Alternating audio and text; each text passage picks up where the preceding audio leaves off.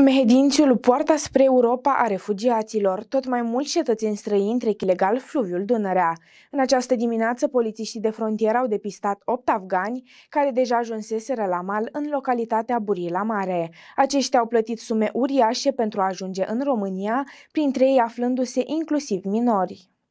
8 cetățeni străini au fost depistați în această dimineață la malul fluviului Dunărea după ce trecuseră ilegal din Serbia în România cu ajutorul unei bărci cu motor. Aceștia au fost identificați de oamenii legii pe raza localității Burila Mare. După verificările efectuate s-a constatat că migranții erau din Afganistan, cu vârste cuprinse între 16 și 35 de ani, ajutați de alți doi cetățeni străini care s-au întors ulterior pe teritoriul Serbiei. La nivelul sectorului porțile de fier 2 a avut loc o acțiune privind prevenirea și combaterea migrației ilegale în zona de competență. Astfel, în localitatea Burila Mare, pe direcția kilometrului fluvial 892, a fost descoperit un grup format din 8 cetățeni străini. Imediat, persoanele în cauză au fost conduse la sediul sectorului pentru verificări, unde li s-a făcut triajul epidemiologic. În cadrul primelor verificări, polițiștii de frontieră au stabilit că cei în cauză sunt cetățeni din Afganistan, 8 persoane cu vârste cuprinse între 16 și 35 de ani.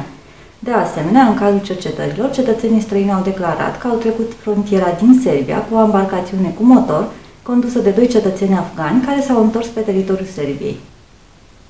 Cei opt migranți au fost conduși la sediul poliției unde li s-a făcut triajul epidemiologic. Polițiștii de frontieră au extins deja verificările pentru depistarea tuturor persoanelor implicate și pentru a stabili întreaga arie infracțională.